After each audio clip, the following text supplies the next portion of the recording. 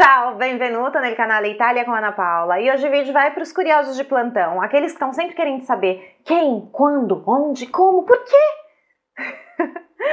Bem, hoje nós vamos ver quais são as formas interrogativas em italiano. Vamos lá pro vídeo.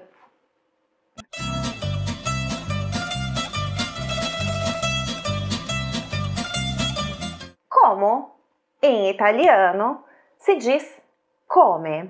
Eu já é, disse em outras ocasiões que o italiano é muito bonito e particular por isso, embora sejam línguas parecidas, uma das diferenças é que o italiano fala como se escreve. Então, se escreve come, com E no final, vai ser sempre come. Não podemos substituir com o I, como nós fazemos com muitas palavras na língua portuguesa.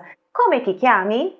Come preferisci la colazione? Se você falar como, em italiano querem dizer come, eles vão entender que é o lago que está lá na Lombardia, no norte da Itália. Quando, quando a palavra permanece igual, quando, mas em italiano a pronúncia do A é sempre mais aberta. O som nasal em italiano não existe. Então não é quando, somente paulista, né, fala quando. Então o quando é quando. Repete comigo. Quando, como se fosse um A aberto. Quando intendi venire a casa mia? O quando sei nato, onde, onde em italiano si diz dove. Dove abiti? Da dove vieni? Dove vai?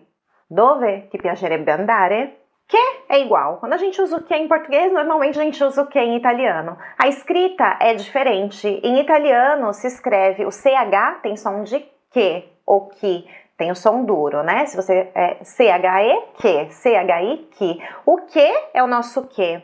Que lavoro fai?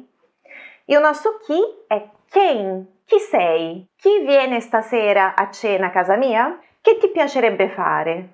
Numa linguagem mais informal, esse que pode ser substituído com cosa, literalmente coisa, cosa. É, se você já ouviu muito italiano, provavelmente já ouviu muitas pessoas sempre falando esse cosa, cosa, cosa, tá em todos os lugares. Então, Cosa ti piacerebbe fare? Ou che cosa ti piacerebbe fare? Por quê? Porque em italiano é perché. E se vocês notarem, esse perché tem um acento agudo no E, que em italiano são poucas as palavras com esse acento, que significa que a pronúncia é fechada. Então é perché. Perché te ne stai andando? Perché hai scelto di non parlare? a improvisação. Depois nós temos quanto. Quanto em italiano também fica a mesma coisa, só que a pronúncia como o quando, quando é aberta, então é quanto. Quanto costa questa camicia? Só que, como no português, ele também concorda com o restante da frase, com o objeto a seguir. Em italiano, quanto, quando vai para o plural, se torna quanti. Quanti figli hai? Quanti anni hai?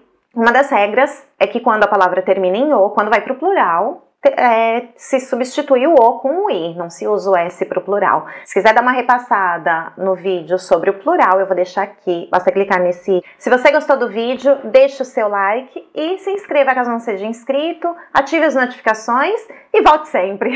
Sexta-feira tem mais. Tchau!